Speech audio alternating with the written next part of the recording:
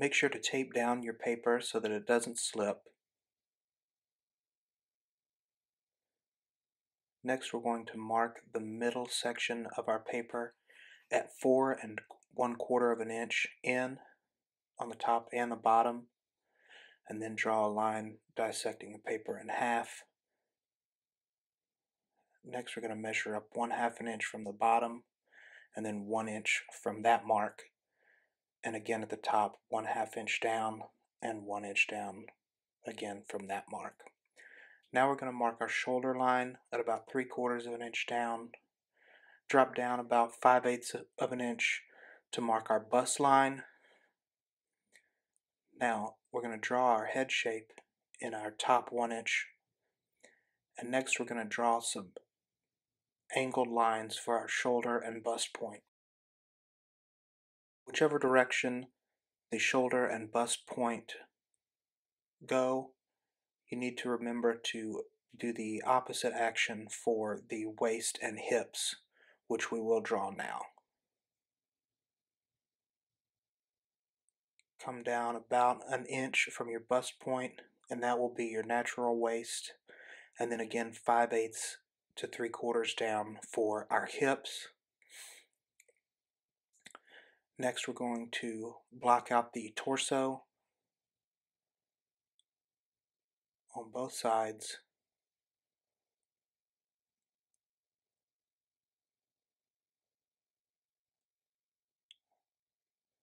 Now we're going to draw the panty line and begin tracing our neck from our head to our shoulders, connecting with shoulder blades.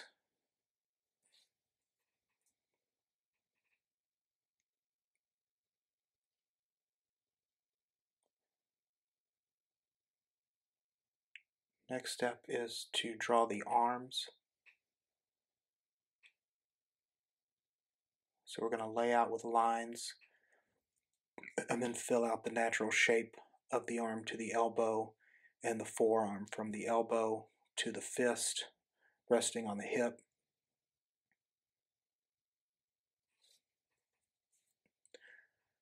Our other arm will hang straight down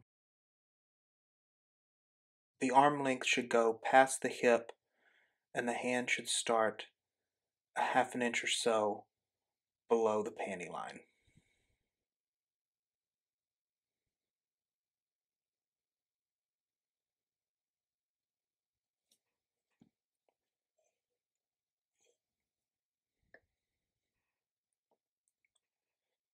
Now it's time to draw the legs. The leg that's holding the weight will be from the side of the hip that is the highest. So this leg needs to come straight down because that is where the form will be balancing all of its weight on. Our other leg will come out to the side to give some drama to the pose.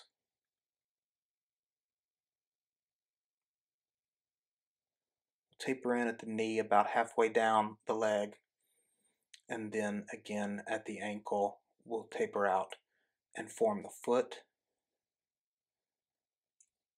And now we have a simple blocking method and it's time to trace our croquis on a new piece of paper. So we'll tape this paper down as well so that we don't have any movement interrupting our trace of the form below.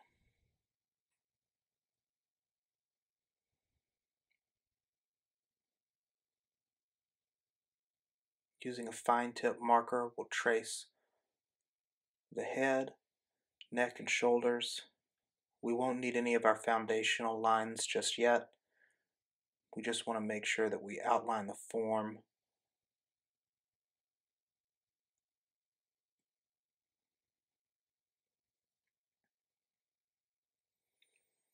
It's best to pull a clean line so whenever you can, don't stop the pencil or marker from moving until you're at a place where you can change direction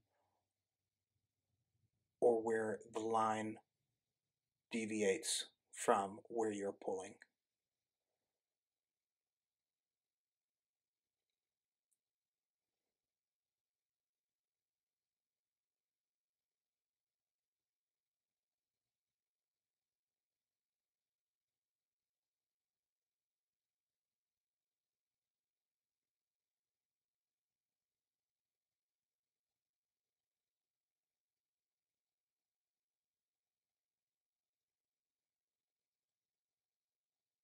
And we'll draw the neckline, our center line, trace out our panty line, our natural hip, waist, bust, and shoulders.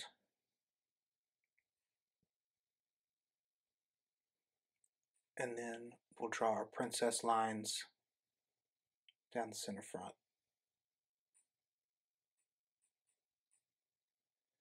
And that is a simple block method for doing a fashion croquis.